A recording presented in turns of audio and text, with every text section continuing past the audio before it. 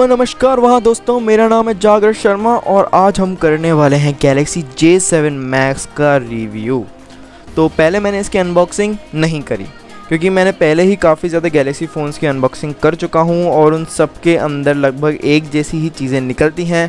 तो स्पेसिफिकली आप J7 pro की अनबॉक्सिंग देख सकते हो, उसमें वही सारा सेम कंटेंट निकलता है जो इसकी अनबॉक्सिंग में निकलता। तो बिना कोई टाइम वेस्ट करिए चलिए चालू करते हैं J7 मैक्स का रिव्यू और ये वाला फ़ोन जो है वो 22 जुलाई को लॉन्च हुआ था। इसके अंदर 5.7 इंच की सबसे बड़ी डिस्प्ले है जो पूरी जे सीरीज़ के अंदर अभी तक नहीं आई। यहाँ तक कि नए जे सेवन प्रो तक में नहीं आई। और उसके अंदर भी 5.5 इंच की डिस्प्ले है जे सेवन प्रो के अंदर। और इसके अंदर एम ओ डिस्प्ले नहीं है, इसके अंदर I P S L C D panel है। M O L E D Samsung के फ़ोन्स में आती है, पर पता नहीं क्यों इसमें सैमसंग ने नहीं दी।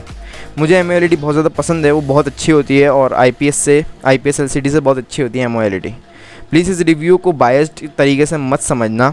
मैं आराम, मैं वाकई में M O L E D को बहुत ज़्यादा पसंद करता हूँ और जो कि उसने नहीं दिया इस वाले फ़ोन के अंदर।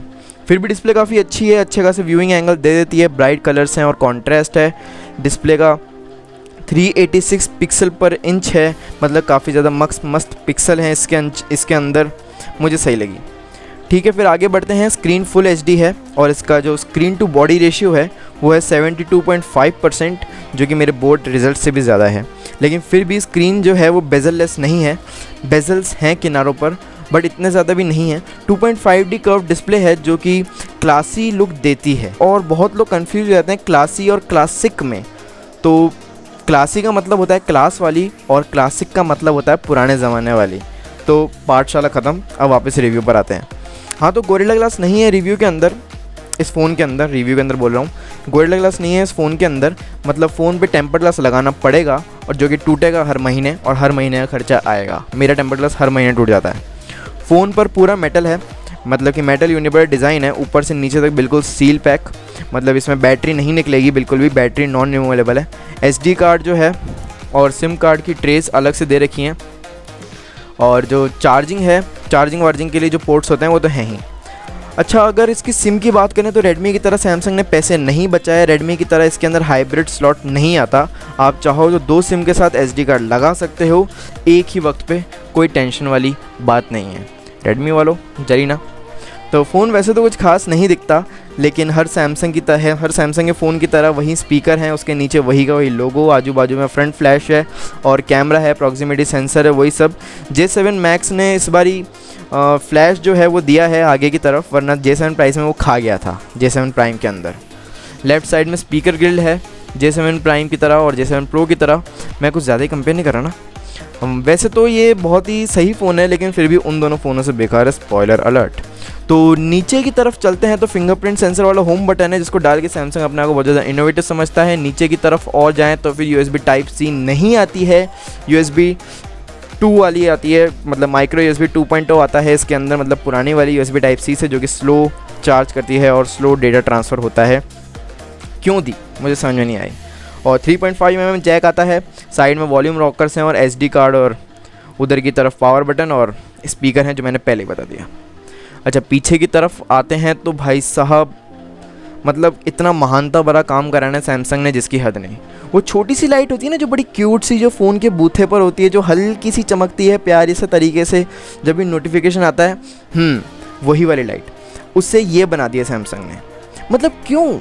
जे सेवन टू का एक्सपेरिमेंटल फीचर ने यहाँ तक अपने साक्षात दर्शन दे दिया ना जिसकी हद नहीं। आपके कैमरे के सामने मतलब घिरा हुआ है मतलब इतना भद्दा लगता है ना फ़ोन पिछवाड़े से जिसकी हद नहीं। ऑब्वियस किसी किसी को बहुत अच्छा लगेगा जो सैमसंग फ़ैन बॉयज़ हैं, लेकिन मेरे लिए तो बहुत बकवास है वाकई में। अब सच बोल रहा हूँ, ये रिव्यू कम रोस्ट ज़्यादा लग रहा है। ऐसा लग रहा है कि मैंने मतलब इस रिव्यू को बनाए गलती कर दी और सैमसंग की गलतियों को सुधार रहा हूँ। अच्छे खासे फ़ोन को यार भद्दा बनाने में कोई कसर नहीं छोड़ी। मुझे तो ये जे टू में पसंद नहीं था और इसमें भी पसंद नहीं आया। मतलब कम से कम फिनिशिंग तो दे देते यार, थोड़ा सही कर देते, कोई इनोवेशन नाम की चीज़ ही नहीं है। मतलब इतनी मतलब इतनी ज़्यादा बड़ी लाइट लगाई है और छोटी सी लाइट की जगह तीन हज़ार तीन सौ एम एच की बैटरी दी है, खटाक से उड़ जाती होगी किसी को जलाने में। फिर भी ठीक ही है यार अलग अलग रंगों में चमकती है, चमकती चीज़ें तो इंसानों को पसंद आती हैं। कमर कस्टमाइजेबल है पूरी की पूरी। सब है, ठीक है ओके है मतलब क्या कर सकते हैं आप कुछ तो कर नहीं सकते वैसे। जे सेवन प्रो के अंदर इसने गलतियाँ सुधार दी अपनी, ऐसी कोई चीज़ नहीं दी है। नोटिफिकेशन एलईडी नहीं दी भाई साहब लोग भुगतो बैठ के आप जे सेवन प्रो के अंदर।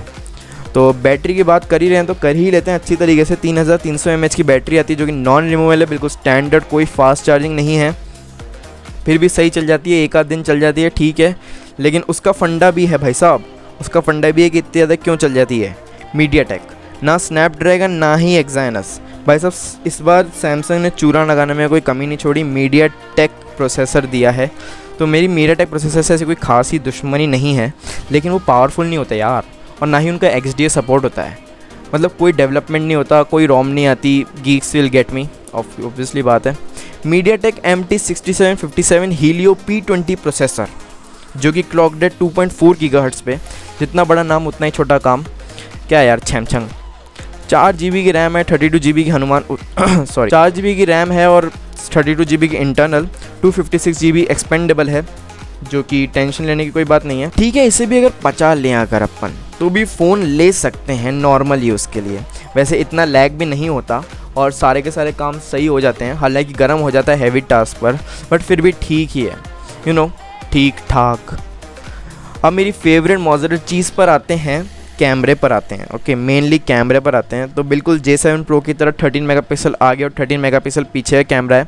वही आगे पीछे, आगे वाले का F one F one point nine aperture है सेल्फी के लिए और पीछे वाले का F one point seven aperture है भाभी के लिए। तो अच्छा खासा कलर रिप्रोडक्शन हो जाता है ब्राइटनेस और वाइब्रेंट पिक्चर्स दे देता है। वही सोशल कैमरा ऐप है जो जे सेवन प्रो में भी दिया था। और डायरेक्ट व्हाट्सएप वगैरह आप कॉन्टैक्ट्स पे अपनी पिक्स वगैरह शेयर कर सकते हो कैमरा ऐप के अंदर ही। तो जे सेवन मैक्स लेते ही आपको एंड्रॉयड साथ मिलेगा। लेटेस्ट एंड्रॉयड बिल्कुल, वही टच विज यू होगी उसके ऊपर। और क्योंकि इसमें कोई NFC नहीं है तो जे सेवन प्रो की तरह आपको सैमसंग पे का बड़ा वाला वर्जन नहीं मिलता सैमसंग पे मिनी मिलेगी और फुल वर्जन आप कहीं से निकाल भी नहीं सकते क्योंकि एनएफसी नहीं है। चलो अब आगे बढ़ते हैं और रिव्यू ख़त्म। तो मैं यही बताना चाहूँगा कि लेना है या नहीं लेना तो मेरी मानो तो मत लो। अच्छे खासे फ़ोन आ जाते हैं इस रेंज के अंदर। जैसे मैं प्रो ले लो, अगर बहुत ज़्यादा सही लग रहा है आपको रेडमी नोट फोर में ही मुझे इससे ज़्यादा अच्छा लगता है और मोटो जी फाइव प्लस ले लो। और अगर सैमसंग ही लेना है तो जैसे मैं प्रो ले लो। हाँ एक मिनट ये तो मैंने शायद पहले बोल दिया। अगर मैंने बोल दिया तो मैं एडिट कर दूँगा, वैसे मैं इन सब चीज़ों को एडिट करना भूल जाता हूँ अक्सर। तो अगर प्रॉब्लम हो तो बता देना कमेंट्स के अंदर और कमेंट करा करो यार और सबसे पहले तो सब्सक्राइब करो। सब्सक्राइब नहीं करते, बस वीडियो देख के भाग जाते हो व्हाट इज़ दिस यार? आई डोंट लाइक दिस बस मैं यही कहना चाहूँगा कि सब्सक्राइब करो लाइक करो शेयर करो अपने दोस्तों यारों को। जो भी सैमसंग गैलेक्सी जैसे लेने वाला है, उसको शेयर कर दो ताकि वो ऐसी गलती ना कर बैठ जाए। और hope you like this video guys this mister signing off जय हिंद